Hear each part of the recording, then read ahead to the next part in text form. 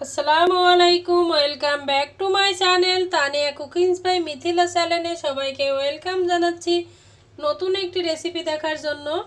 আর দেখেই বুঝতে পারছেন আজকে আমি হালুয়া তৈরি করছি। আর হালুয়াটা হচ্ছে ছোলা বুটের ডালের হালুয়া, স্পেশালি সবাবরাত উপলক্ষে। আর এই হালুয়াটা তৈরি করতে খুব বেশি উপকরণ লাগেনি, কম সময়ে আপনারা বাসায় তৈরি করতে পারবেন। আশা করি আজকে রেসিপিটা আপনাদের ভালো লাগবে। রেসিপিটা ভালো লাগলে লাইক, কমেন্ট, শেয়ার করে চ্যানেলটা অবশ্যই সাবস্ক্রাইব করবেন। যারা অলরেডি সাবস্ক্রাইব করেছেন, তাদেরকে অসংখ্য ধন্যবাদ। আর যারা চ্যানেলে নতুন আছেন, তারা অবশ্যই চ্যানেলটি সাবস্ক্রাইব করবেন। আর রেসিপিটা ভালো লাগলে পুরো ভিডিওটা না টেনেই দেখবেন, টেনে দেখলে কিন্তু স্কিপ করে ফেলবেন। চলুন তাহলে পুরো প্রস্তুত প্রণালী দেখে নিই যে কীভাবে আমরা হালুয়াটা তৈরি করব। ছোলা বুটের হালুয়া বানানোর জন্য আমি এখানে এক পা ছোলা বুটের ডাল নিয়ে নিয়েছি আর ডালটা আমি খুব সুন্দর করে বেছে ফ্রেশ করে রাখছি। অনেক সময় ডালের ভিতরে কিন্তু অনেক ময়লা থাকে, ঝিল থাকে, অনেক কিছু থাকে, এগুলো বেছে নেবেন। তা না হলে পরবর্তীতে সমস্যা হতে পারে। আর যাদের হাতে সময় আছে তারা একটা দিন, পুরো দিনটায় ডালটা রাতে ভিজিয়ে রাখবেন, সকালে হালুয়া বানাবেন, তাহলে অনেক ভালো হয়। আর যাদের সময় নাই হাতে তারা ছয় থেকে সাত ঘণ্টা ভিজে রাখার চেষ্টা করবেন। আমি এখন এই ডালের ভিতরে হালকা গরম পানি দিয়ে দিব। আর গরম পানিটা দিয়ে আমি ছয় সাত ঘণ্টা অপেক্ষা করব। এই ডালটা এখন এইভাবেই ভিজিয়ে রাখব। আট ঘণ্টা ভিজানোর পরে ডালটা কতটা ফুলে উঠেছে দেখেন। আর এখন আমি এই ডালটা সিদ্ধ করে নিব।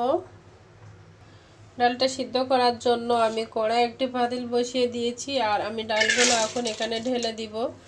দিয়ে পরিমাণ মতো পানি দিব। আপনারা চাইলে দুধও অ্যাড করতে পারেন। দুধ দিয়েও ডালটা সিদ্ধ করে নিয়ে যায়। আমি এখানে তেজপাতা, এলাচ ফল আর ডাল দিয়ে দিব। দিলে খুব সুন্দর একটা ফ্লেভার আসে। এক ভাগ বেকিং সোডা দিয়ে দিব। আর এই বেকিং সোডাটা দিলে ডালটা খুব সুন্দর সিদ্ধ হয়। আপনারা চাইলে এই টিপসটা ব্যবহার করতে পারেন। ডালটা একেবারেই সিদ্ধ হয়ে গেছে, একেবারেই গলে গেছে আর এই ডা, চুলার জালটা অফ করে ডালটা সে, ঠান্ডা হওয়া পর্যন্ত অপেক্ষা করব আর ডালের ভিতরে যে তেজপাতা ডাল ফলটা দিয়েছিলাম এটা উঠিয়ে নিব। তা না হলে এটা কিন্তু পরে খাওয়ার সময় আমাদের গালে পড়বে অর্থাৎ দাঁতের নিচে পড়লে এটা খেতে ভালো লাগবে না। এজন্য আমি এগুলো উঠায় নিয়ে ডালটা ঠান্ডা হওয়ার জন্য অপেক্ষা করব। আর ঠান্ডা হয়ে গেলে এটা ব্লেন্ডার করে নিব। অফ ক্যামেরায় আমি ডালটা ব্লেন্ডার করে রেখেছি। আপনারা চাইলে শিলপাটাতেও কিন্তু এভাবে ডালটা বেটে নিতে পারেন আর কতটা সফট হয়ে চুলায় আমি একটা ফ্রাই প্যান বসিয়ে নিয়েছি আর আমি এখন চার টেবিল পরিমাণ ঘি দিয়ে দিব। আপনারা চাইলে রান্নার তেলটা ইউজ করতে পারবেন, কিন্তু রান্নার তেলটা ইউজ করলে ফ্লেভার ভালো আসবে না। ঘি দিলে খুব সুন্দর একটা ফ্লেভার আসে। ঘিটা গরম হয়ে আসলে দিয়ে দিব সাদা গোলমরিচ গুঁড়া। আমি এ পর্যায়ে যে ডালটা গ্রেট করে রাখছিলাম, ওটা দিয়ে দিব। এর সাথে নাড়িয়ে নাড়িয়ে পাঁচ থেকে সাত মিনিট এটা ভেজে নিব। এটা খুব ভালোভাবে নাড়তে হবে। যেন ডালটার সাথে ঘিটা খুব ভালোভাবে মিক্সড হয়ে যায়। আর এইভাবে মেশানোর পরে কিন্তু একটু পাতলা হয়ে যাবে এটা। পাঁচ থেকে সাত মিনিট আমি খুব ভালোভাবে নাড়িয়ে নাড়িয়ে এটা ভেজে নিয়েছি আর এই অনাবরত কিন্তু এইভাবে নেড়ে নিয়েছি আমি আপনারাও নেড়ে নেবেন নালে নিচে লেগে যাবে। আমি এই পর্যায়ে এখন অ্যাড করে দিব চিনি আর চিনিটা যার যার পছন্দ অনুযায়ী দিবেন। আমি এখানে হ্যাঁ, আমার আড়াইশো গ্রাম ডালের জন্য আমি এক কাপের একটু কম চিনি অ্যাড করেছি আর চিনিটা টেস্ট অনুযায়ী দিবেন। আর চিনিটা দেওয়ার পর কিন্তু হালুয়াটা অনেকটাই নরম হয়ে যাবে, একেবারে সফট পাতলা হয়ে যাবে। এখন এটা আমাদের জাল করে কমায় নিতে হবে। আমি এই পর্যায়ে অ্যাড করে দিব একটু ফুড কালার ফুড কালারটা অপশনাল আপনারা চাইলে দিতে পারেন, না চাইলে স্কিপ করতে পারেন। তবে দিলে খুব সুন্দর একটা কালার আসে। এজন্য ফুড কালারটা অ্যাড করে ভালোভাবে মিশিয়ে নিব। কালারটা অ্যাড করার পরে দেখেন কত সুন্দর একটা কালার আসছে। আর হালুয়ার কালারটা এরকম হলে খেতেও ভালো লাগে, দেখতেও ভালো লাগে। আমি এখন অ্যাড করে দিব এক চামচ পরিমাণ লবণ। লবণটা যার যার স্বাদ অনুযায়ী দিবেন। আর মিষ্টির ভিতরে লবণটা দিলে কিন্তু টেস্টটা আরও বেড়ে যায়। আর দেখেন এটা কিন্তু অনেক পাতলা হয়ে গিয়েছে। আর এটা জাল করে কমায় নিতে হবে। যত সময় আঠালো একটা ভাব না আসে, তত সময় এভাবে জাল করতে হবে। একটু কষ্টদায়ক। তারপরেও কিন্তু এটা আমাদের সহ্য করেই করতে হবে। আর এইভাবেই অনবরত নেড়ে নেড়েই কিন্তু একটা কমায় নিতে হবে। এখান থেকে যদি আমি চলে যাই, তাহলে কিন্তু একটা পুড়ে যাবে। এজন্য খেয়াল রাখবেন, হালুয়াটা তৈরি করার সময়, সব সময় চুলার পাশে থেকেই কিন্তু অনবরত এটা নাড়তে হবে। এভাবে আমি হালুয়াটা বানিয়ে নিব। হালুয়াটা কিন্তু অনেকটাই ঘন হয়ে আসছে। আর এইভাবে উপর থেকে নিচে ফেলতে হবে। ফেলার পরে যদি দেখেন যে এইভাবে পড়ছে, তাহলে আবারও একটু নেড়ে নিতে হবে। আর এই পর্যায়ে অ্যাড করে দিব গুঁড়া দুধ, ফুল ক্রিম গুঁড়া দুধ। আমি এখানে এক কাপের একটু কম গুঁড়া দুধ নিয়ে নিয়েছি। এভাবে খুব ভালোভাবে মিশিয়ে নিতে হবে। আমি দুধটা খুব ভালোভাবে মিশিয়ে নিব। দুধটা মেশানো শেষ। আর এই পর্যায়ে অ্যাড করে দিব দু টেবিল চামচ পরিমাণ ঘি। আবারও ঘি দিতেছি। ঘি দিলেই লাস্ট পর্যায়ে ঘি দিলে ফ্লেভারটা অনেক সুন্দর আসে। আর এই ঘিটা দিয়েই খুব ভালোভাবে তিন থেকে চার মিনিট এখনও নেড়ে নিব। আর ঘিটা দিতে হবে কিন্তু হালুয়াটা হওয়ার চার মিনিট আগেই ঘিটা দিয়ে খুব ভালোভাবে নেড়ে নিতে হবে। যারা লিকুইড হালুয়া খেতে চান, তারা কিন্তু এরকমভাবে নামিয়েই বাদাম কিশমিশ অ্যাড করে পরিবেশন করতে পারবেন।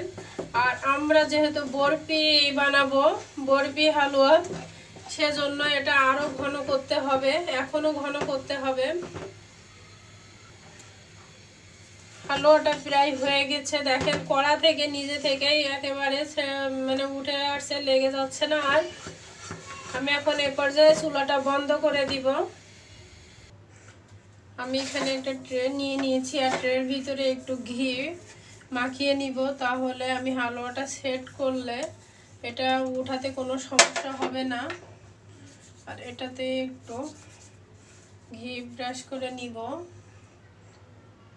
হালুয়াটা কিন্তু একটু গরম গরম সেট করতে হবে, তা না হলে আবার খুব ভালোভাবে সেট হবে না। আর আমি এখানে দিয়ে দিব, দিয়ে খুব ভালোভাবে এটা চেপে চেপে সুন্দর করে সেট করে নিব। হালুয়াটা সেট করা শেষ। আর আমি এখন এর উপরে কিছু বাদাম কুচি করে রাখছিলাম, কাজু বাদাম, পিস্তা বাদাম। বাদামগুলো দিয়ে সুন্দর করে সাজিয়ে নিব। আপনারা আপনাদের পছন্দ মতো সাজিয়ে নেবেন। বাদামগুলো দেওয়ার পরে এইভাবে চেপে চেপে বসিয়ে দিতে হবে, তা না হলে পড়ে যাবে। আর এটা আমি একেবারে ঠান্ডা করে নিব। ঠান্ডা হয়ে গেলে কেটে দেখাবো কেমন হয়েছে।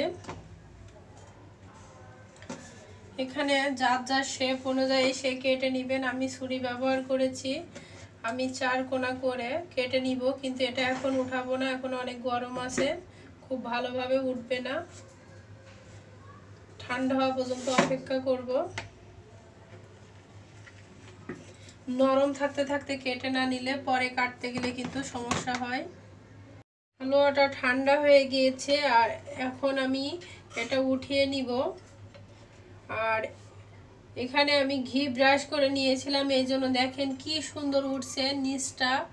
দেখলেই বুঝতে পারবেন আপনারা। আর উপরটা তো আছে একেবারেই যেমন হলে হয়, ঠিক তেমনই হয়েছে। আমার এখানে ছুরিও লাগছে না, আমি হাত দিয়েই কিন্তু এটা উঠাতে পারছি। এভাবে আমি সবগুলো উঠে সবগুলো উঠিয়ে নিয়েছি, ঝটপট রেডি হয়ে গেল বুটের ডালের হালুয়া। আর এভাবে আপনারা কিন্তু হালুয়াটা খুব দ্রুত, অল্প সময়ে কম উপকরণে তৈরি করতে পারবেন। আর রেসিপিটা যদি ভালো লাগে, একটা লাইক সুন্দর একটা কমেন্ট লিখে চ্যানেলটা অবশ্যই সাবস্ক্রাইব করবেন। আর পাশে থাকা বেল আইকনটি ক্লিক করে দিবেন, তাহলে আমি যে কোনো ভিডিও ছাড়লে আপনারা পেয়ে যাবেন। আর আমার চ্যানেলে আরও দুইটা হালুয়া রেসিপি দেওয়া আছে, গাজরের হালুয়া, সুজির হালুয়া, চাইলে আপনারা দেখে নিতে পারেন, আমি ডেসক্রিপশন বক্সে দিয়ে দিব। আবারও ফিরে আসব আপনাদের জন্য মজার মজার কিছু রান্না নিয়ে। সে পর্যন্ত সবাই ভালো থাকবেন, সুস্থ থাকবেন, আল্লাহ হাফেজ।